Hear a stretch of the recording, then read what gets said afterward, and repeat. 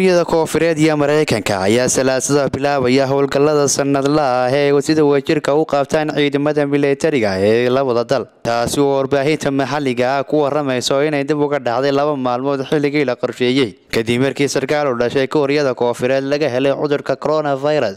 Tababarka ayaa bilaabi doona salaasada iyadoo maanka lagu hayo xaalada covid ayuu hadda maanta yidhi taliyaha guud ee ciidamada kuuriyada koonfureed tababarka oo qorshihiisu ahaa in la bilaabo maalinta axadda ayaa dib loo dhigay.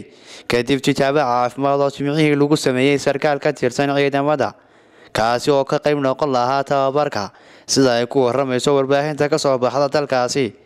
Tababarkan isku dhafka ah ayaa waxaa si dhow isha ugu haya kuuriyada waqooyi oo ugu yeertay inuu yahay oo diyaar garow dagaal sanadihii u dambeeyey ayaa la yeereeyey tababarada wadajirka ah si ay taasi u fudeyso wadahadalada mareykanka ee looga dan leeyahay in laga baabiyo barnaamijka nukliyeerka ee pyongyong xamse dalxa telefishinka madaxa banaani start